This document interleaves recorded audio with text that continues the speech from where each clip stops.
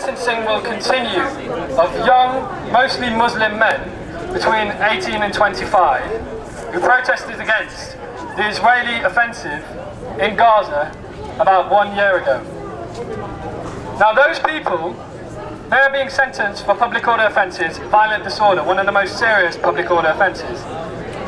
And in a repeat of what happened during the Bradford riots, which was against the rise of the far right, the people are being punished for protesting against the Israeli offensive and also for resisting police provocation on those days. They threw placards, they threw placards, they did lots of things. But is any of it warranted? Should any of them have gone to jail? There were 73 people charged with violent disorder. Only two of them, only two of them are non-Muslim, as I've seen so far, who've gone through the Crown Court. Only two of them were non-white. Many of them, well virtually all of them, are on their first offence. They have previous good character. But all of them made a plea with the court and with the police. They pleaded guilty and then said the, a partial truth, and they said, look, the police, you started it. And the police went, yeah, we started it, that's great, thanks. We'll note that down in your interview. Thank you very much. You can go to jail now. If they'd have pleaded not guilty, they would have got off. Because the people of this country know the police provoke people. The people of this country know it's a political act against them. And the reason why we know this is because everyone that's pleaded not guilty has not been sent to jail and not been found guilty. We all agree. So, anyone who thinks that this is just people crying about some Muslims going down when they deserve it, doesn't really understand what's gone on here.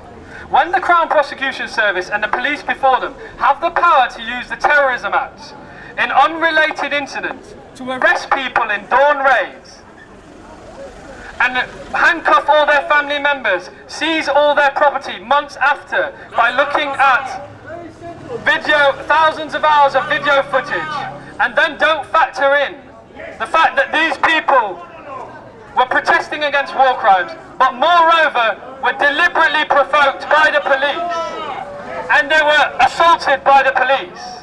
And don't factor in the fact that there are hundreds of civil claims going on in the courts against the police for those days.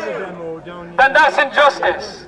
Now you can think what you want, but we advise you to go onto the website www.gazademosupport.org.uk and find out further information.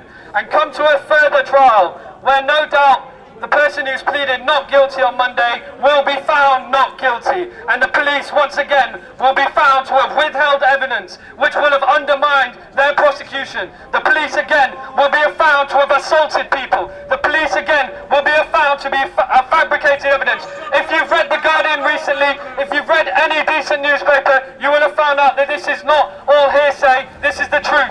The police have constructed all this, they have orchestrated attacks on those people, and then they have then arrested them in a in an agenda which is akin to the war on terror. So I say to you, free the Gaza protesters, free Palestine! So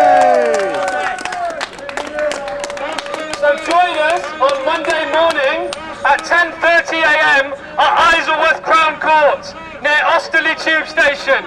And if you want to know how much of an effect you can have, I've personally been communicating with the judge on behalf of the monitoring groups that are attending, and he's saying he's being very moved by us. He doesn't know he doesn't know what to do. He's saying now that he has to factor in the public attention. He's saying now that um, he acknowledges that we're here and he acknowledges the public interest in these cases. So let's show him that there's not just a public interest in the cases, there's a public interest in quashing every single charge and quashing every single conviction and ending this nonsense. Yeah!